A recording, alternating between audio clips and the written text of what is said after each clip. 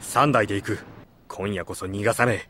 白の 32R だろうとブラックバードだろうと見つけたら必ず落とす。おお古くせえセンスしかねえ中南たちの車にいつまでもでかい顔させとけっかよ。あ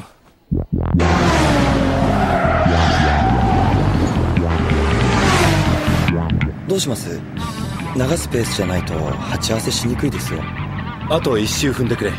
それから長スペースに落とそうわかりました。これは本当にアナログ制御のターボカーなのか？どこが不利なんだ？一体キャブ対 CPU のありきたりの理論なんか簡単に吹っ飛ぶ。落ち着け。落ち着くんだ。プロのチューナーの端くれとしてこの車ときちんと対峙しろ。パワーはどれくらい出てる？500馬力か600馬力か。ボディ合成はどうだ？きちんとサスは仕事しているのか。2速から3速シフトアップ。一瞬のタイムラグもなくブーストが追従。加速が途切れない。来た。もう一台。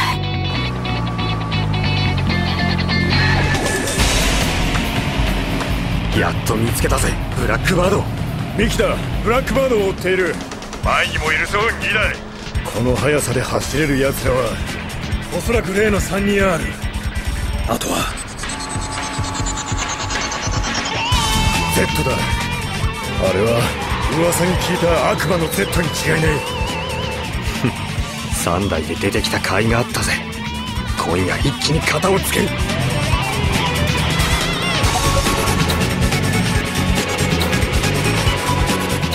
ブラックバードの後ろに1台。多分 GTR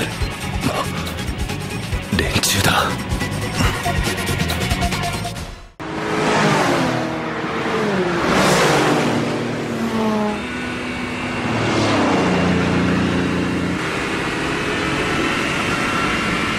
浜崎橋ジャンクションから湾岸線に向かっている。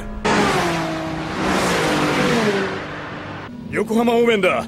こっちは羽田トンネルで手塚たちと合流する予定だ。そっちはどうする？おう俺たちは横羽線を流してる。負けんなよ。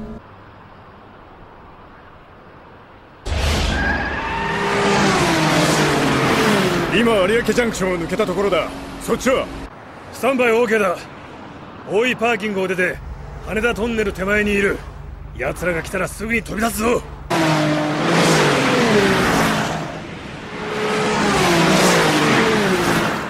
海底トンネルを通過した。分かった。よし行こうぜ。おうやってやる。もう一台。奴らどんな手を使ってでも勝つ気か？やるかやられるか結果が全てだ。ガキの頃からきっちり蹴りをつけてきたんだ。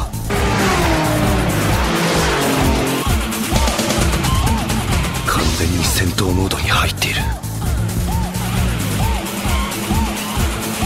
おい手塚もっと加速しろ。すぐ後ろに来てんぞ。けへスピードが違う。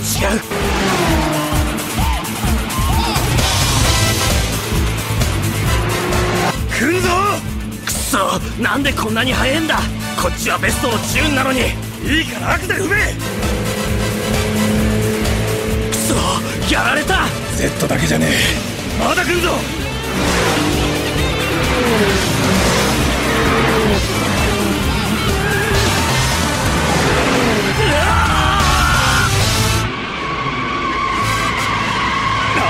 ってんだよ！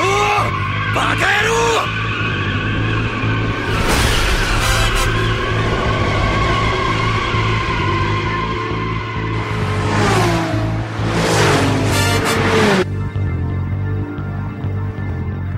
全く動じていない。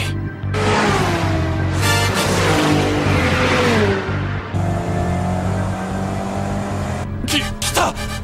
どうなったんだ？知るがよ！俺たちの出番だ絶対に抜かせねえ。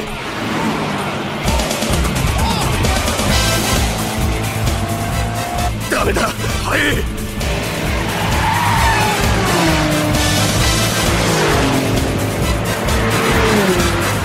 どうなってんだよこいつら。